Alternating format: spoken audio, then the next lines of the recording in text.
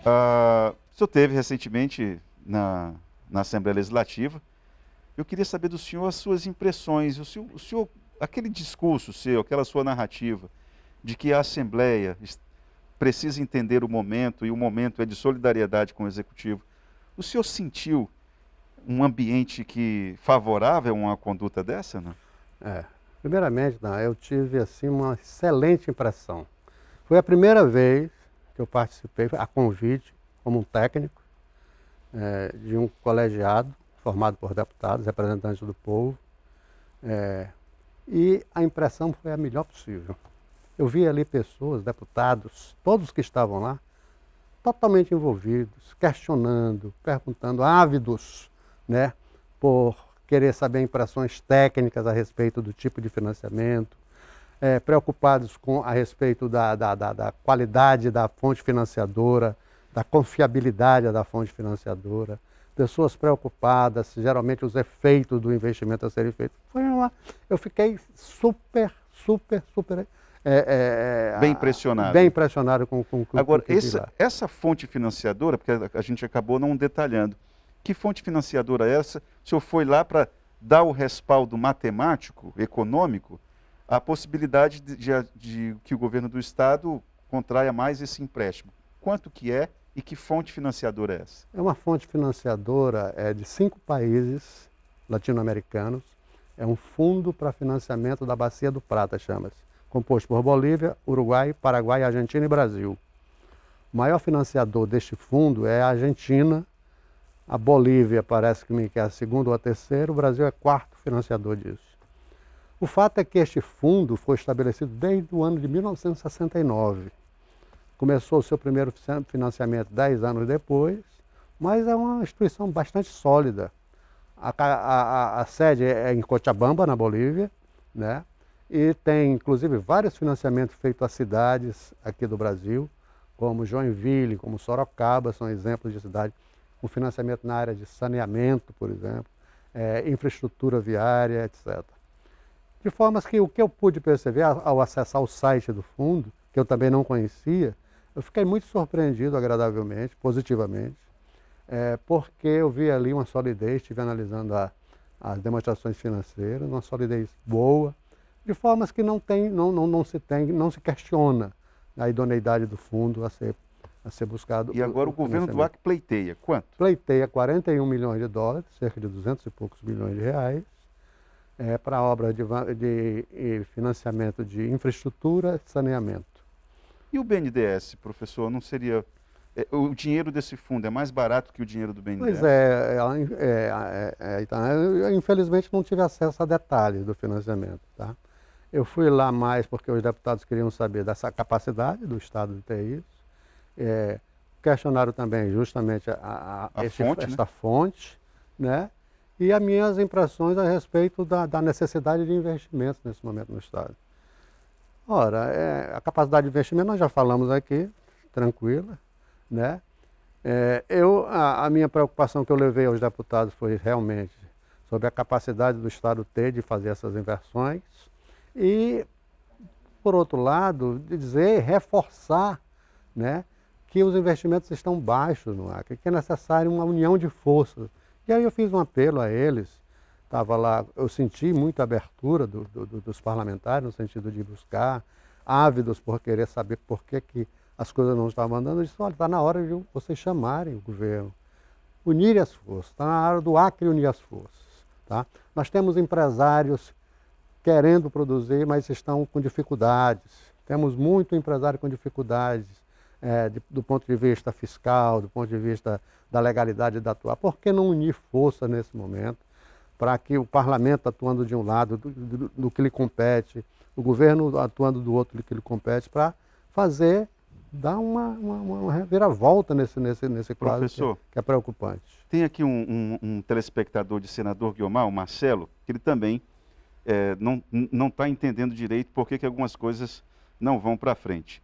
Diz ele, Professor, sabemos que uma das saídas para o crescimento do Acre é a agricultura.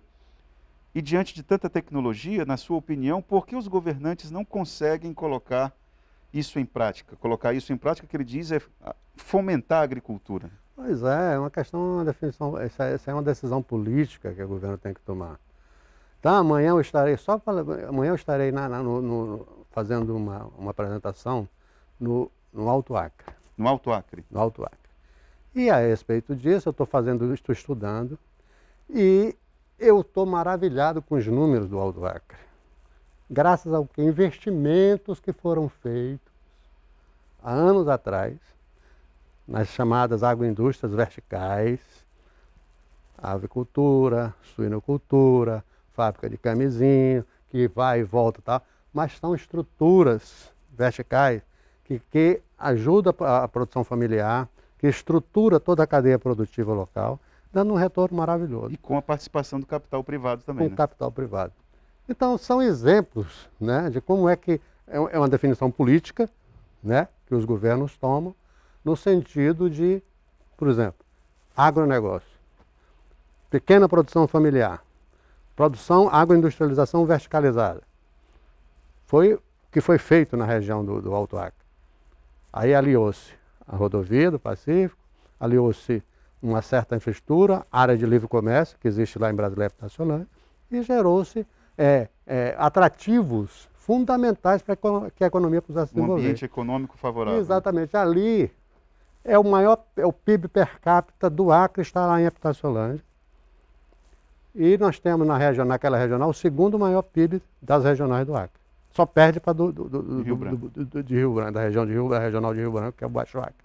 Então são, são efeitos né, de decisões que são tomadas Professor, por quer dizer, perdão, quer dizer que nem Cruzeiro do Sul consegue superar ah, o que A acontece... regional do Juruá é muito mais baixo o PIB de lá do que o PIB do Alto Acre. Essa muito mais informação que eu não... É muito significativo. Para mim me surpreendeu também.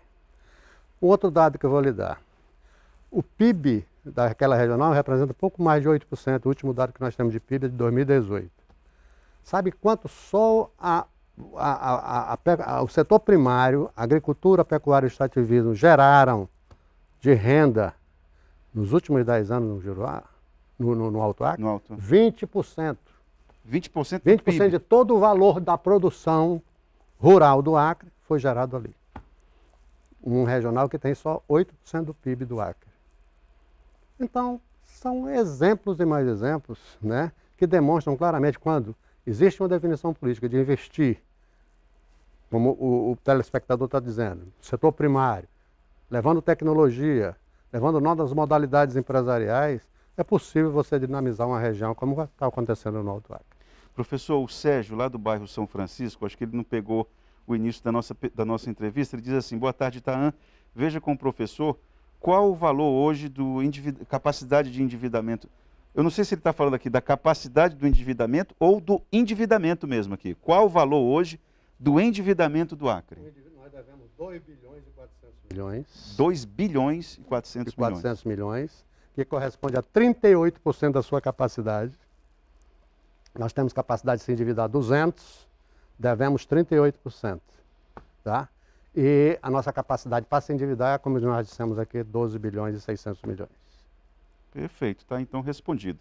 Tem aqui uma pergunta do Luiz Carlos, e com a pergunta do Luiz Carlos eu já vou eh, colocando um outro rumo aqui no nosso, no nosso caminhar, professor. Pergunta ao professor Rolando Sabino, eh, eh, deixa eu ver, eh, o que daria para executar com o dinheiro que o governo tem em caixa e com o novo empréstimo que poderá vir?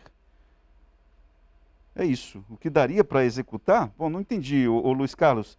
Daria para executar tanta coisa, mas aí teria que- ver com o governo, quais que seriam as áreas estratégicas ali na Secretaria de Planejamento, né? É. Mas o, o Luiz Carlos aqui apagou uma, uma pergunta, que era essa pergunta que eu queria fazer, a respeito de por que, que a UFAC produz tão, tão poucos pesquisadores, professor. Você poderia responder Luiz Carlos?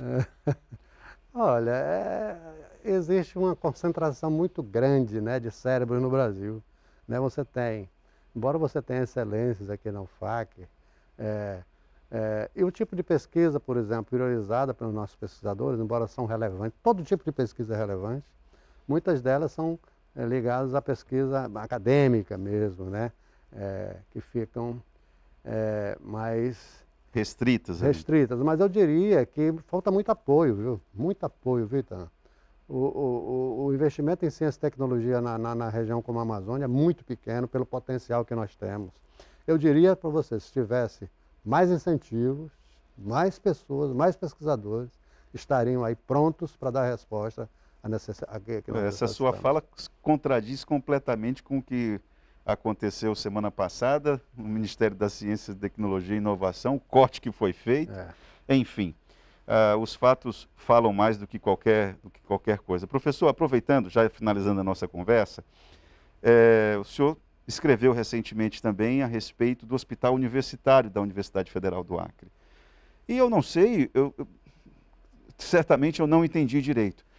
Uh, o hospital vai ser custeado pelo MEC? A manutenção do ser, é um tratamento diferenciado ou não? É porque uma decisão é, recente do MEC foi de não financiar mais hospitais universitários.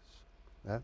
E o Acre estava com a proposta, está tá no PPA da União, a proposta no, no plano plurianual. No plurianual de investimento da União, a posição do Hospital Universitário do Acre, mas, no entanto, tinha esse impasse do MEC não querer mais financiar.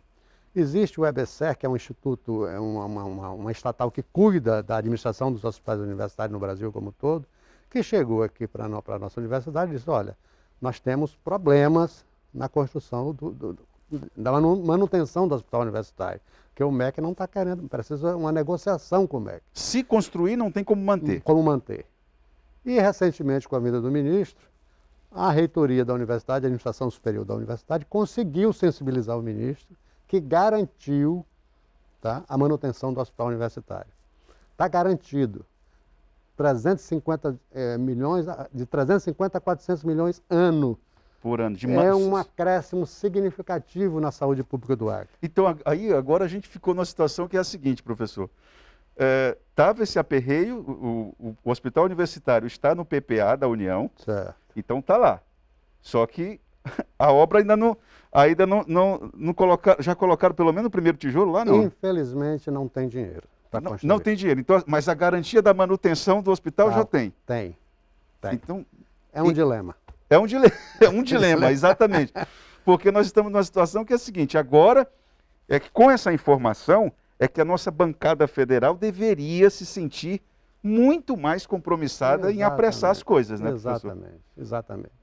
Você significa, e eu citei bem naquele artigo, o potencial que tem um hospital universitário para a comunidade universitária, os acadêmicos da área de saúde de todas as áreas e para a população criada. Com certeza. a população. É um patrimônio do não é o hospital universitário da UFAC, é o hospital universitário do Acre. Do Acre, do Acre. exatamente. É. E porque eu até conversei com a reitora aqui da Aquino é, semanas passadas e é, algumas semanas e ela e ela falou a respeito disso, né? Porque é um hospital que vai ter a atuação desse hospital tem um impacto para o sul do Amazonas todo, parte de Rondônia, eh, Peru e Bolívia. Bolívia e Bolívia, Peru exatamente. E Bolívia. Exatamente. É um, é, um, é um espetáculo o hospital, é uma capacidade de atendimento espetacular, dobra quase que a oferta que nós temos atualmente no Acre. É, isso deveria, assim, mobilizar os nossos oito deputados federais e três senadores, assim, com, com uma pressa, com que deveria ser uma pressa incomum, né? Com certeza. E não canalizar recurso para isso, não, é para o Hospital Universitário Exato, do Acre. É isso. Professor Orlando, muito obrigado pela sua participação aqui. O nosso tempo já acabou. Eu queria muito agradecer.